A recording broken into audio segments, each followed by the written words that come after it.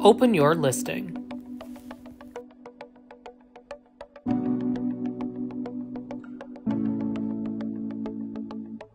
Head over to the Media tab.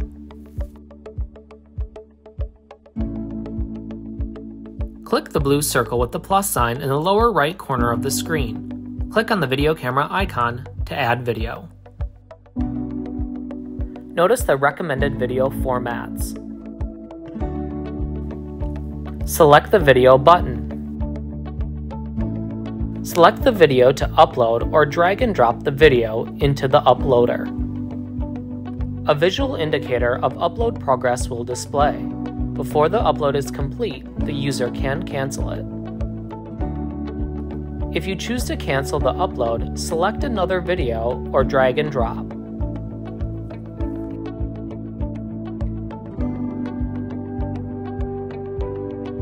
Once uploaded, the video will appear on the Photos Video page, displaying its current status. Video upload time can vary based on video size and bandwidth. Once the video is completely processed, it is ready for use and may be edited further.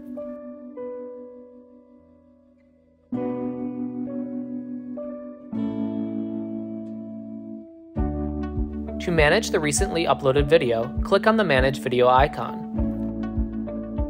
Here, you will be able to see your editing options. You have options to replace video or delete. In this case, we are replacing the video. Select the video to upload or drag and drop the video into the uploader.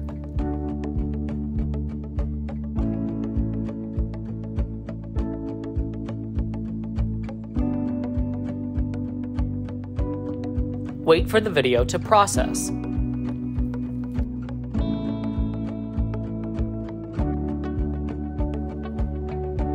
There is already a video uploaded, the Add button will display Manage Video instead of Add Video.